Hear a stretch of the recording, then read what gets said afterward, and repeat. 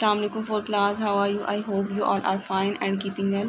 Let's start today's lesson on page number 84 और जो हमने सबसे पहले पढ़ना है we can do it fractions unit number five fractions हम पढ़ रहे हैं, उसमें है वी कैन डू इट तो सबसे पहले तो आपने इसके ऊपर डेट मेंशन कर लेनी है।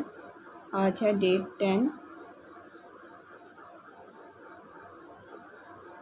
मई two thousand twenty one question number one देखें। Right the mix numbers for these question number one है right the mix numbers for these ये जो पैटर्न दिए हुए हैं डिस्क दिए हुए हैं, इनको देखते हुए हमने क्या करना है? मिक्स नंबर लिखना है। देखें one two three total three हैं। लेकिन इनमें से फिल कितने हैं? वन टू टू होल हैं। ठीक है?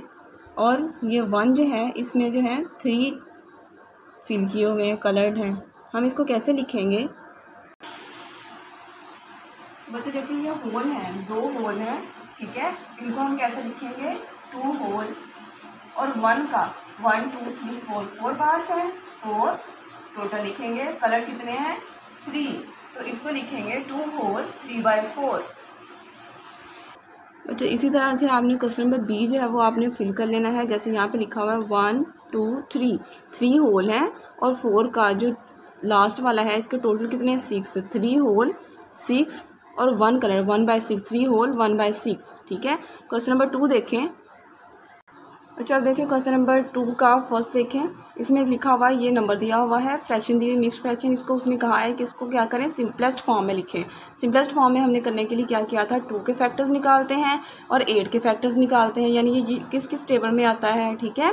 फिर जो हाइएस्ट कॉमन फैक्टर होता है ग्रेटेस्ट कॉमन फैक्टर उस पर दोनों को डिवाइड कर देते हैं। जैसे देखिए यहाँ पे factors of two factors of two कौन से हैं? वन टू यानी ये वन के टेबल में भी आता है टू और टू के टेबल में भी आता है. फैक्टर्स ऑफ़ एट एट के फैक्टर कौन से हैं? One two four eight eight जो है वो इन सब टेबल्स में आता है. इनमें से कॉमन फैक्टर कॉमन ये है, ठीक है? दो है. वन भी है दोनों में टू भी है. लेकिन हमने greatest common device common factor निकालना है. टू निकल आया हमारे पास.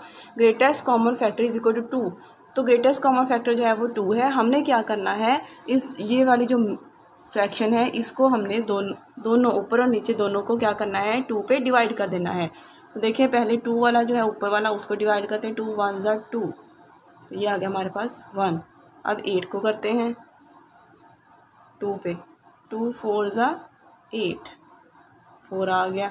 तो वन बाई फोर फाइव ऐसे ही। ठीक है? इसका मतलब जो है, इसकी सिंपलेस्ट फॉर्म जो है, वो है five whole one by four इससे मज़ीद ये सिंपल नहीं हो सकता, ये इसकी सिंपलेस्ट फॉर्म है। अब देखिए बच्चों क्वेश्चन नंबर टू ही का सेकंड पार्ट जो है, वो है one whole four by eight इसको हमने क्या करना है? सिंपलेस्ट फॉर्म में लिखना है। तो क्या करेंगे हम सबसे पहले? फोर के फैक्टर्स निकालेंगे। Factors of four one two four यानी ये इन इन टेबल में आता है। फिर क्या है? नीचे वाले डिनोमिनेटर के फैक्टर निकालेंगे। Factors of ten one two five ten यानी ये इन टेबल्स में आता है। ठीक है? तो उसके बाद क्या करेंगे? इसके कॉमन फैक्टर देखते हैं। वन टू ठीक है? वन और टू दोनों में कॉमन है। अब इनमें से, इन दोनों ये जो कॉमन फैक्टर इनमें से ग्रेटेस्ट कॉमन फैक्टर क्या है? टू सबसे बड़ा यही है ना? वन नहीं है टू बड़ा है। अब ग्रेटेस्ट कॉमन डिवाइजर फैक्टर को हम क्या करेंगे इस पर डिवाइड कर देंगे। फोर टू टू टू ज़ा फोर तो इसका मतलब यहाँ पे आ गया two one whole two ten को करके देखते हैं, टू पे डिवाइड, टू, फाइव ज़ा टेन। फाइव आ गया। फाइव तो इसकी सिंपलेस्ट फॉर्म क्या है? One whole two by five. हम इसको मज़ीद सिंपल नहीं कर सकते। बच्चों क्वेश्चन नंबर टू ही का सी पार्ट देखें। Six whole three by six. इसको हमने सिंपलेस्ट फॉर्म में कैसे लिखना है? अब इसका सी पार्ट देखें six whole three by six इसको हम क्या करेंगे? सिंपलेस्ट फॉर्म में लिखेंगे। सिक्स होल को तो वैसे ही रहने देंगे, ठीक है? इस सिक्स होल को हम वैसे ही रहने देंगे। इसको हम सिंप्लीफाई करेंगे। तो सबसे पहले क्या करेंगे? फैक्टर्स ऑफ़ थ्री थ्री के फैक्टर्स निकाले वन और थ्री आ गए। फैक्टर्स ऑफ़ सिक्स सिक्स के वन टू थ्री सिक्स यानी ये इन टेबल में आता है सिक्स अब क्या करेंगे? इसके कॉमन फैक्टर देखेंगे। ये भी कॉमन है, ये भी कॉमन है, यानी ये दोनों में है। थ्री कॉमन है, दोनों में है। अब इनमें से ग्रेटेस्ट कौन सा है? थ्री तो greatest common factor is equal to three है।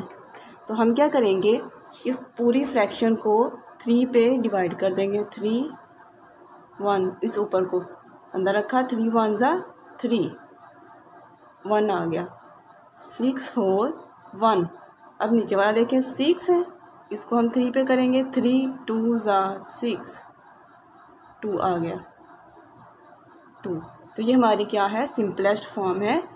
Six whole three by six six की six whole one by two इसकी सिंपलेस्ट फॉर्म है।